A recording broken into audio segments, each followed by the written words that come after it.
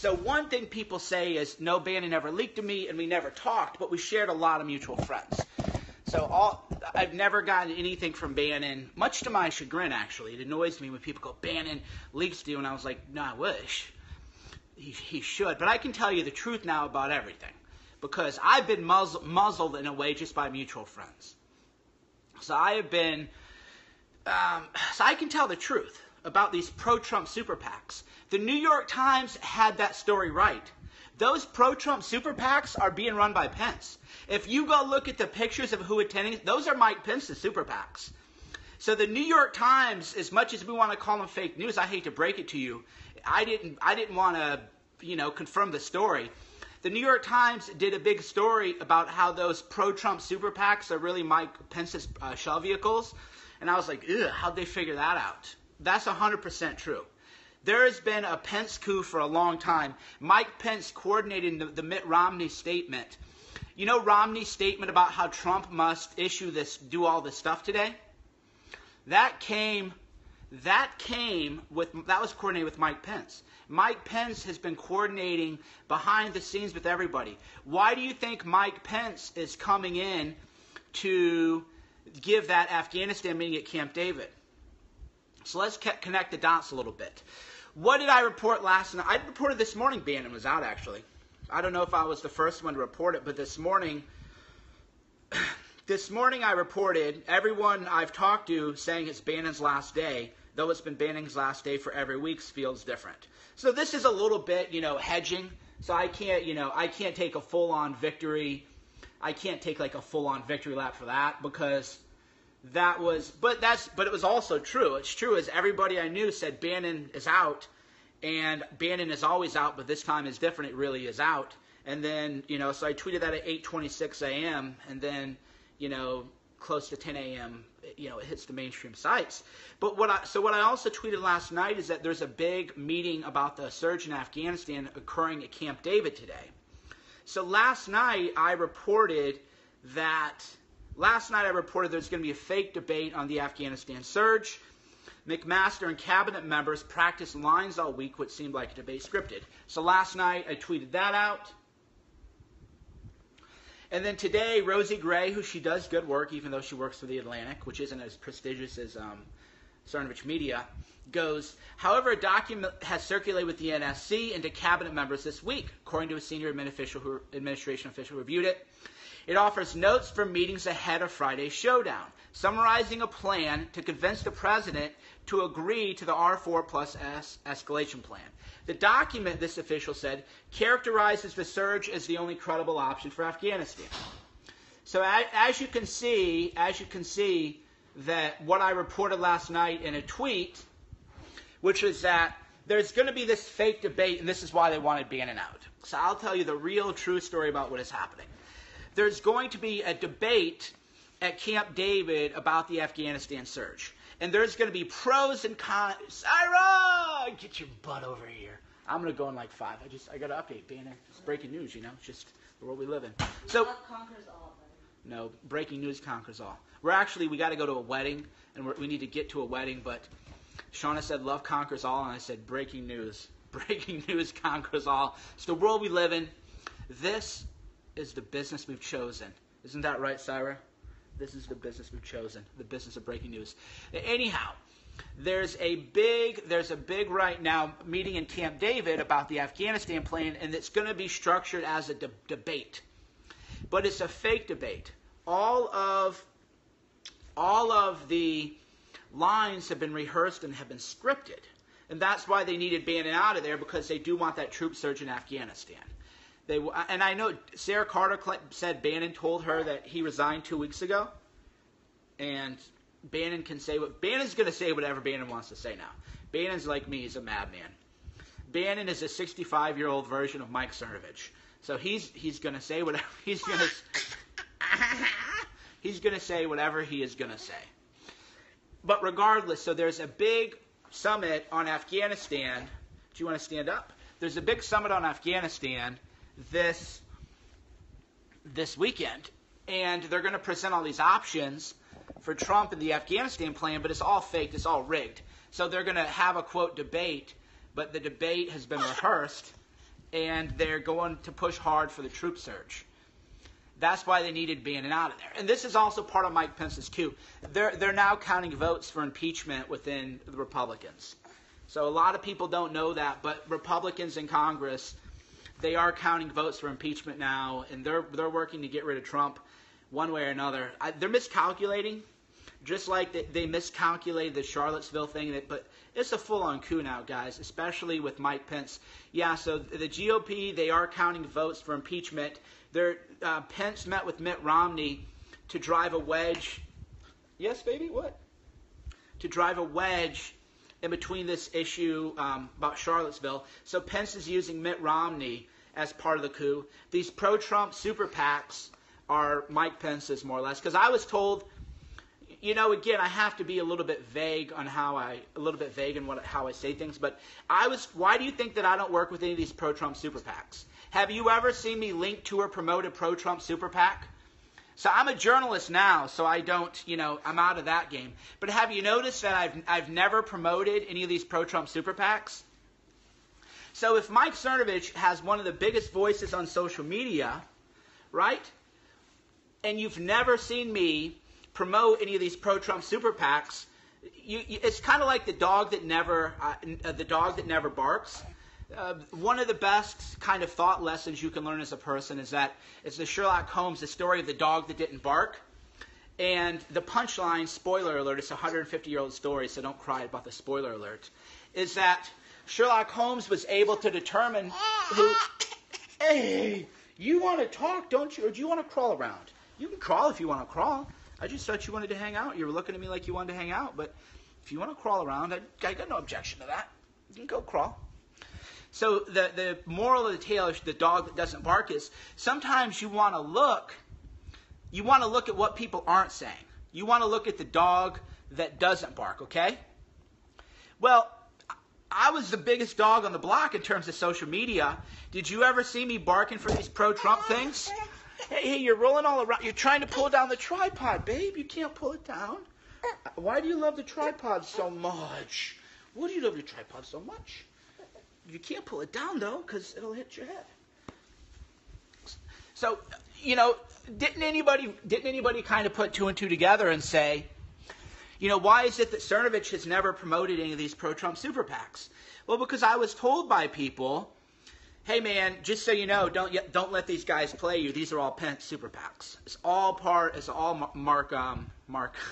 It's all Mike Pence super PAC kind of thing, and that's why even when I was a pro-Trump guy, now I'm just a journalist, giving you the straight truth. So if, if these super PACs were pro-Trump, why was I not linking to them? Why wasn't I really trying to help them out? they they've always been. And if you look at who attends these events, it's always um, it's always Pence. So that, yeah, the New York Times, the New York Times broke that story, and then Mike Pence goes, "Oh, it isn't true." So yes, a full-on coup is being led by Pence. Pence's people, Mike Bannon, Mike admit it, but you're right yet again. Yeah, I don't know why you guys doubt me when I'm just right about so much.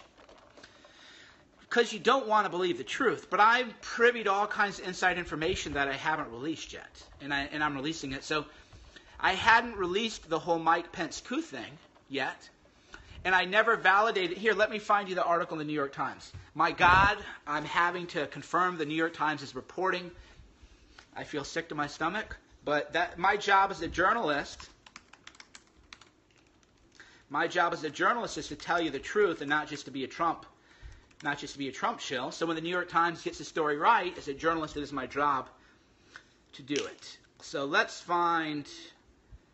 So Mike Pence rejects reports that he's positioning for 2020. Right? So the New York Times, they had this story right, but again, I didn't want to. Republican shadow campaign for 2020 takes shape as Trump's. Here, so I'll show you. The New York Times had this story right. So Mike Cernovich is, this is maybe the first time in history, Mike Cernovich is confirming the reporting of the New York Times. So the article said Republican shadow campaign for 2020 takes shape as Trump doubts grows. Okay?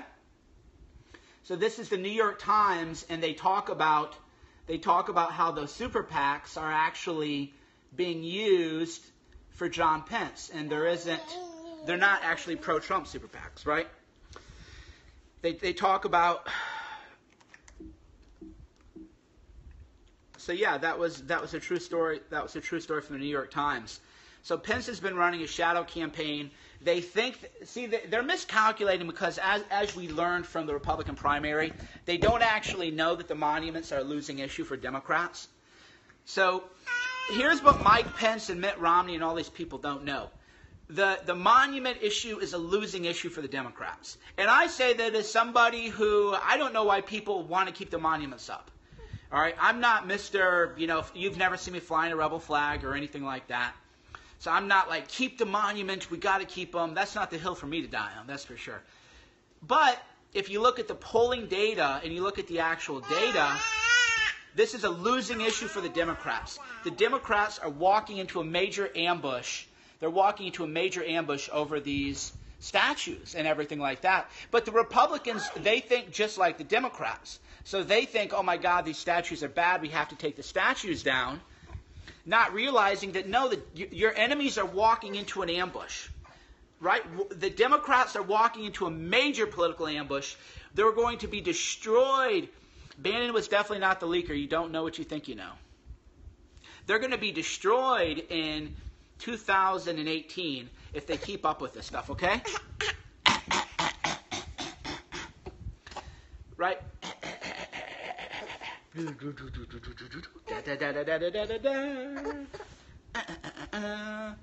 Yeah, so they they're going to be destroyed. It's, it's a losing issue. you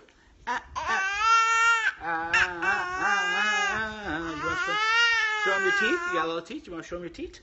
Hey, hey, hey, hey. Da, da, da, da, da. Um, do you want me to move it, or do you want me to know if you no, want to move? I can move it, but I'm saying. Where's safest? I don't know.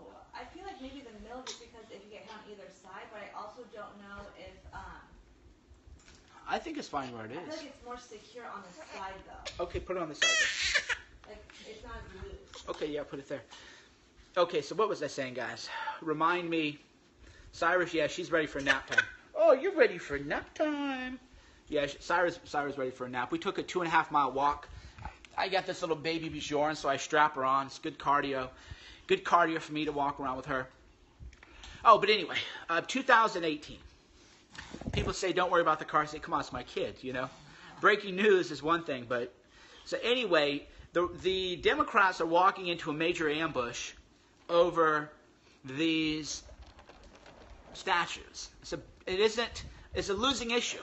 People view it as an at- attack on heritage, an attack on America, an attack on history, and it's a cultural Marxist thing. So. So it's going to be bad, but the, the traditional GOP doesn't really understand, the traditional GOP doesn't really understand that the, the statue is a bad issue. They don't understand that, that calling out the alt left, as Trump did, was actually the right choice to make. Right? They don't actually they don't actually understand this. So because of that, they're trying to get him out, and they're counting votes, and the Republicans are counting votes. Ah, la, la, la. So they are they are counting votes, and they're, they're, it's a full-on coup. Full, yes, it's a full-on coup, a full-on coup going on. It's just the way it is. You say, who cares about the statues? A lot of people do. Here's the thing you gotta. Here's the thing you gotta understand. I'm just to teach you pure Machiavellianism. Okay, pure pure Machiavellianism. Will Republicans gain one vote by tearing down the statues? If the Republicans go along with the tear down the statue campaign, will they gain one vote? Will anybody say, you know what, I always thought the Republicans were just bad guys and they're Nazis and they're terrible people. But now that they're opposed to these statues, you know what, I was wrong. We were wrong about the Republicans. We're going to vote Republican. No. Okay, so they won't gain any votes. Will a lot of people, the Republicans, the same as the Democrats? Right? So the Republicans, it's a losing issue. The, the Democrats are going to be slaughtered, metaphorically, not literally, guys, in 2018, but the Republicans are too dumb to see this. So they're, they're going to they're going to lose badly, no question about that. And there's really nothing that anybody who has a brain can't see happening. Jared Kushner, yeah, Javanka, as they call it. They call uh, they call Ivanka and Jared Javanka. Javanka running things, but again, I don't have. This is why I went to pro. This is why I'm just straight journalist. I'm tired of people going, "Oh, Trump is being sabotaged." I'm tired of the white knighting for Trump. Trump is a 71 year old man, and he let in Jared Kushner and Ivanka, who nobody voted for them. The base never voted for them. He let them become his chief advisors, and they gave him McMaster and Dina Powell and Gary Cohn, globalist Gary from Goldman Sachs, and he, so, so I can't be like, oh, poor Trump, poor innocent Trump. I can't believe it. I'm, I'm so sad. How bad is it? Nah, bro, you, you got to own them choices, man. If you're going to rely on Javanka, if you're going to rely on Javanka for advice, even though Javanka never, if he'd listened to them, he never would have won then I can't be crying any crying any tears for people. He's got to surround himself with other people. So the whole Trump as beleaguered victim thing, I, I that's just not a narrative. It's just not a narrative on the support. You were on the train, pure opportunist, pure opportunist. See, we got DSPLNC talking about ovens and stuff like that. Just the way it is. You, but you want me, to, want me to tell you the truth about life? You're allowed to go one way and to go another way. Your, the biggest thing that you learn in mindset training is that your past is not your future. You can be one way one day, and then you know what? Tomorrow you can say, you know what? I've, I thought about things, and I'm going to take my life on a different course. You're allowed to do this. You're allowed to change. You're allowed to change your opinions. You're allowed to change your behavior. You're allowed to change your habits. it, it is an amazing thing to be a human being. To know that if you think that you were maybe mistaken or something wasn't right, you can you can change. So how does Trump change? Uh, old habits die hard. but so what I predict is going to happen is Trump will be attacked on all sides. And you know what? You know what um, Trump is great at? You know what Trump's greatest skill is? Trump's greatest skill is responding well when his back against the wall, is the wall. That is Trump's greatest skill. Trump's greatest skill is just when you think it's over, he's able to flip it like a pretzel. That Trump is the comeback kid. So I don't think it's over for Trump what I think will happen is Trump is going to be beleaguered and attacked on all sides. And then you know what he'll do? You know what he's going to have to do? You know what Trump is going to have to do? Just go full full barbarian, full savage. So when all the when all the people like Javanka give him bad advice and everything he does is wrong, he's just going to have to say, Cernovich, I know you're not a pro-Trump guy. I know you're a journalist, but you need to come run comms. He'll just go full savage because at that point it won't matter. When they're trying when they're trying to completely destroy you and and nuke you, then you you you have your own nuke. So you just say you just say, "You know what? We're just going to go full savage. We're just going to bring in we're just going to bring the barbarians in the White House." So that that'll be that'll be the um, the comeback story of Trump is he's like, all right, I tried to play it straight with these globalists. Let's just bring in the people that the media is going to freak out about. Just get me, get me the people, the based people, the barbarians, the people that just don't care. Right? That's what you do. You call, you call in people like me who just don't care, and you know that the media is going to freak out, and you know that the media is going to be, oh my God, Cernovich is a monster. Can you believe Cernovich? And can you believe this? And can you believe that? And you just say we don't care. We're just going to fight like hell and fight like hell to win. So that's where, and, and then we do things like pardon Assange and everything. But I'm a journalist, so that isn't that isn't my job. Do you want that? Do you want a little ice in that, or what are you thinking? No, do you want to pick it up and throw it? All right, guys, Mike Cernovich. Go to cernovich.com.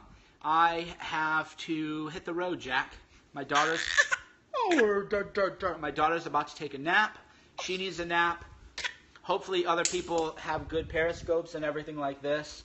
But they're interesting times. Again,